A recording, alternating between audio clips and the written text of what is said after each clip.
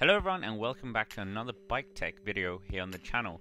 Today we're going to be looking at Matteo Trentin's UAE Team Emirates team bike and of course they're riding on Colnagos as usual. Matteo Trentin is one of UAE Team Emirates best riders in the classics and has a very boastful palmares consisting even of three stage wins in the Tour de France plus he was also the European champion on the road. He has been with UAE Team Emirates since 2021, and of course, this year he's already picked up a victory in Le Samyn.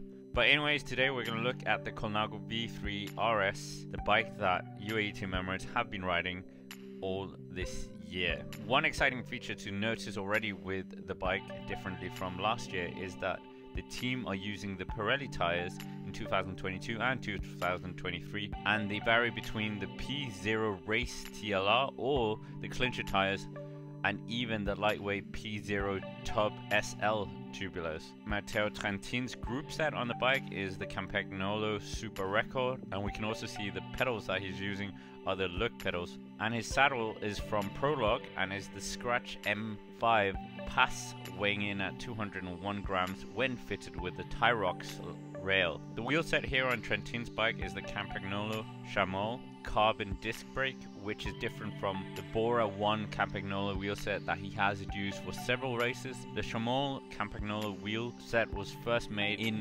1992 and it's dedicated to endurance and this wheel set has a 21mm internal channel as well. The R carbon rim with an unidirectional finish and differentiated front and rear profile, modern rounded profile and new aluminium hubs. They also use the G3 spoke pattern with 24 spokes in total for both the front and the rear. Campagnolo claims that the wheel set weighs a total of 1,585 grams and if you're looking to buy this, incidentally, it is priced at 1,395 euros. Anyways, moving on to the frame.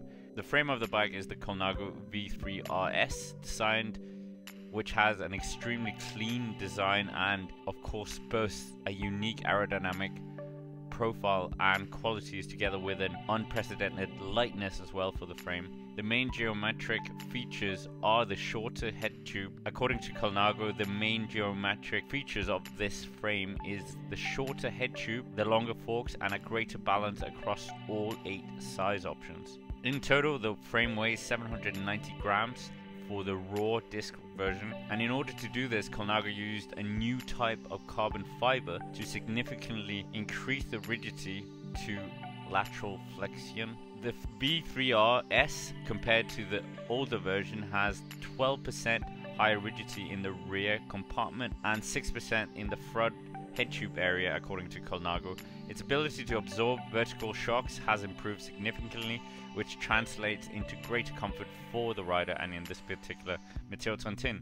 The forks of the frame is much lighter as well compared to the older version of the frame, the V2R. Its raw weight corresponds to about 390 grams according to Colnago and the TFS is integrated steerer thread included.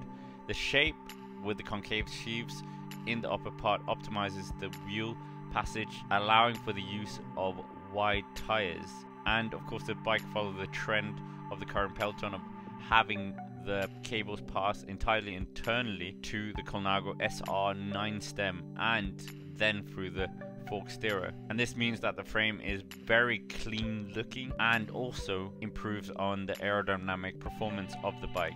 And lastly one of the features as well to note is the seat post closure. The locking system is smaller compared to the V2R and the C64 integrated into the frame and allows greater modulation in tightening and has been one of the things that Colnago have focused a lot on in order to decrease the overall weight. So anyways, that's basically it for this little quick tour around Matteo Trentin's bike.